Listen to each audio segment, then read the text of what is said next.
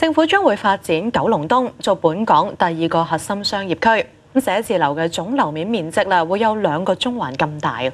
區內仲計劃咧起一條單軌架空鐵路，連接觀塘線同沙中線。聂佩林講下。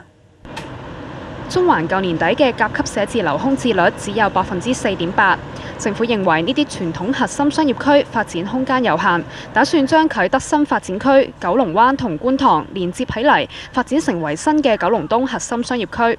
計埋區內現有嘅甲級寫字樓，最終嘅樓面面積會有五百四十萬平方米，即係兩個中環咁大。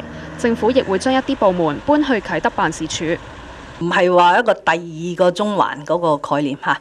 CBD Two 個 Two 咧，我嘅講法咧就係佢唔會認第一！即係我哋覺得最重要嘅核心商業區咧，或許都係應該係中環。呢個新嘅核心商業區計劃會有一條零碳排放嘅單軌架空鐵路，連接觀塘站、九龍灣站同沙中線啟德站，一共有十二個站，預計要用一百二十億，下年初會諮詢公眾。政府亦會改善區內嘅行人通道，第時會有通道可以由德福花園行到去 MegaBox 觀塘第二期海濱長廊，長十一公里，比第一期長三倍。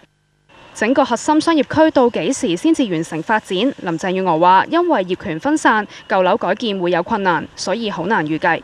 有線電視記者聂佩林報導。